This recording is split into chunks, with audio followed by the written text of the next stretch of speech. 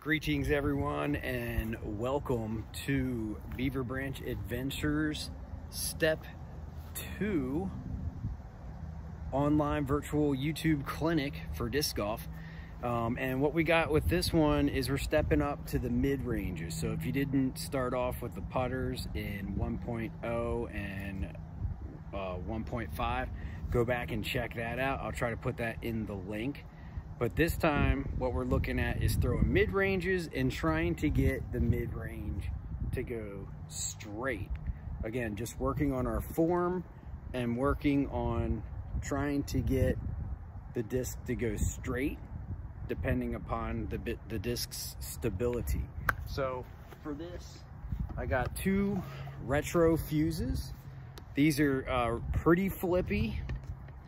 And then I have two opto fuses, which is more uh, of the neutral point and shoot variety.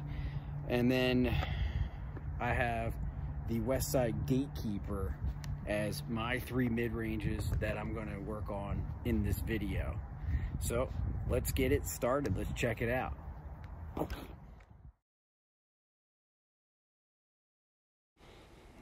Always make sure you warm those muscles up.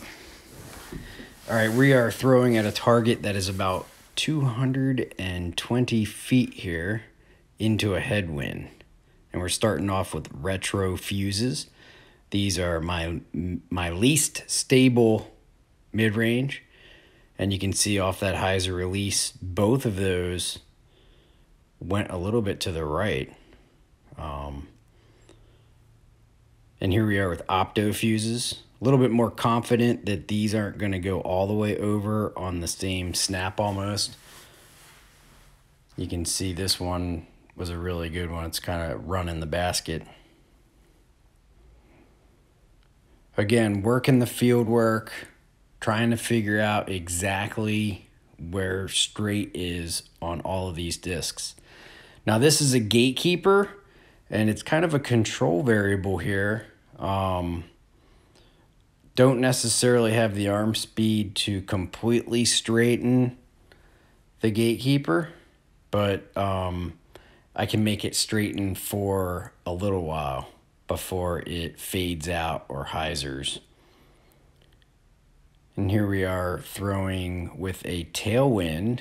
Now with the tailwind, can just really pump on an unstable disc uh, with that hyzer release. You can see it standing up and the disc will become more stable with that tailwind.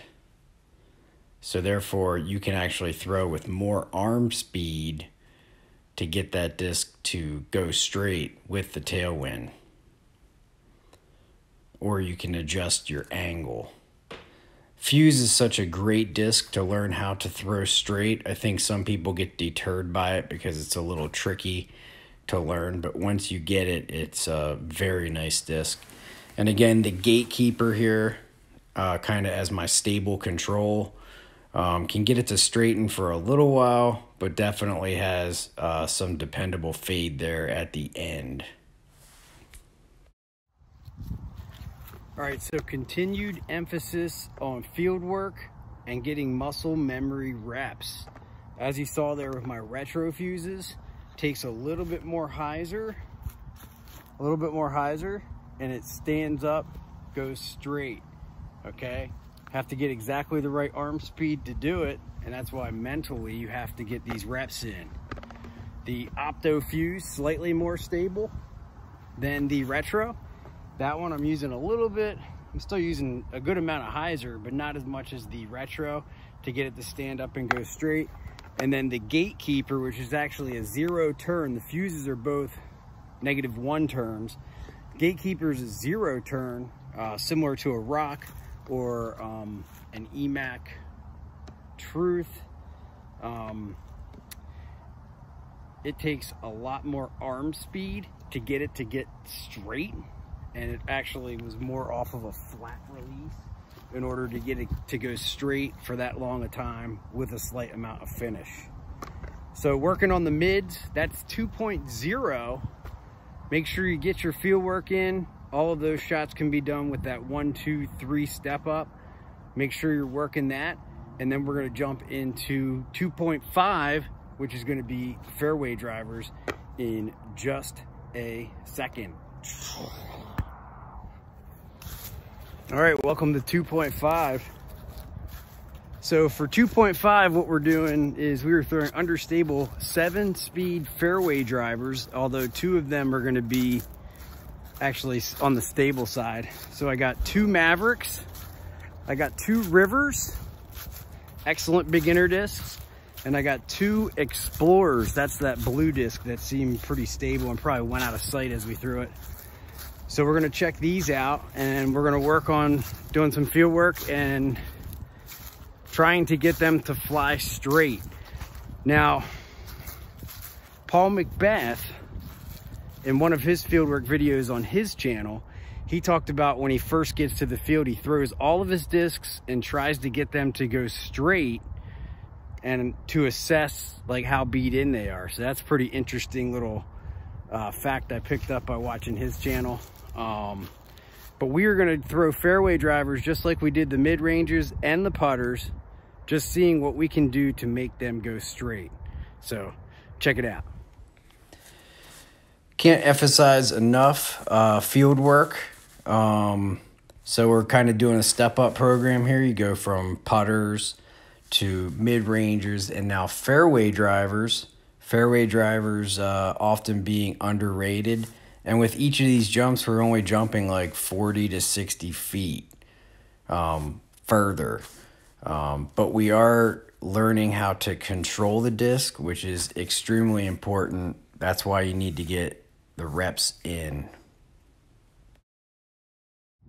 All right, guys, here's a look at the discs I'm gonna be using. This is the Dynamic Discs Maverick. You can see it's a speed seven, glide four, turn of 1.5 with a fade of two. Uh, both of these are beat in to about the same state of being beat in.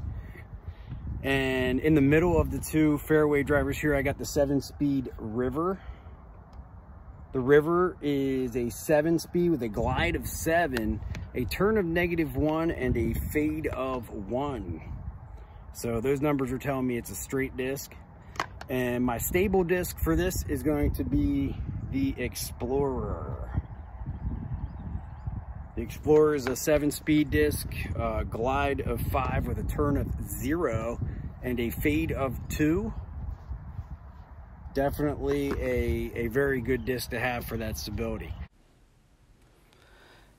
All right, and here we go actually with the tailwind here, going with the Maverick. So we're going from our least stable to most stable. Maverick is a very useful disc. You don't need much arm speed to get it to straighten. They do come in air plastic. Uh, we are throwing lucid plastic in this video, which is, I think, the Maverick, the plastic I like the most for that disc. Um, and they are 175 gram discs. This is the River. River's got a ton of glide and it's also easy to straighten. Can be used for very similar shots to the Maverick. My two Rivers aren't quite as beat in as these orange Mavericks and do have a little bit of fade at the end you'll notice here. The control here is going to be the blue Explorers and I'm sorry uh, the blue kind of goes out of view here. Um, they are going to be kind of like my gatekeepers of the fairway driver department, and they are going to want to.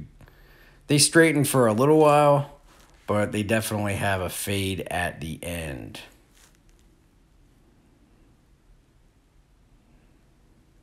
Now we're just going to take shots with a left to right wind here, trying to get straight down there into the woods.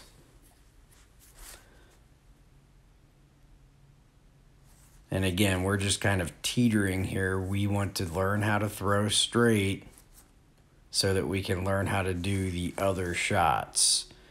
Uh, you know, learning how to do anhyzers and hyzers.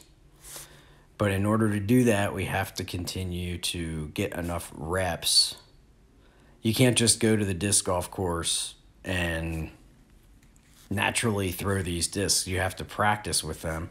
And that's a key point of emphasis here for me. I try to throw my discs and just get to know what they do. And I think at times field work does does more than playing actual practice rounds. So get yourself to the field and get in that work.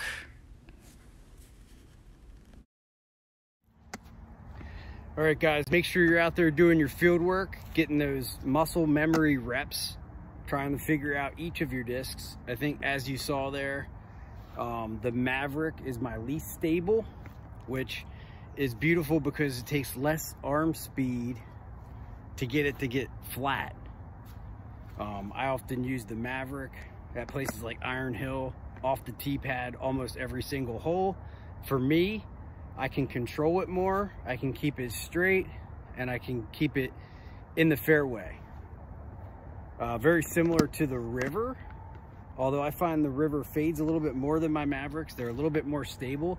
Excellent glide, but easy to get straight, to get to flat. The Explorer was kind of my control here. Um, I don't have enough arm speed to make the Explorer off that hyzer release go straight or even flip to the right at all.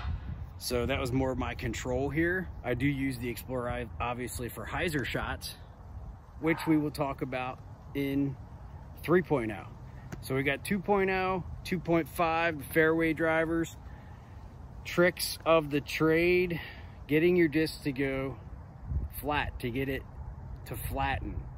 From this point, once we develop this, then we will be able to manipulate the disc so that we can work it into anhyzer shots, so left to right shots if you're right hand backhand, because now we know exactly where it gets to flat.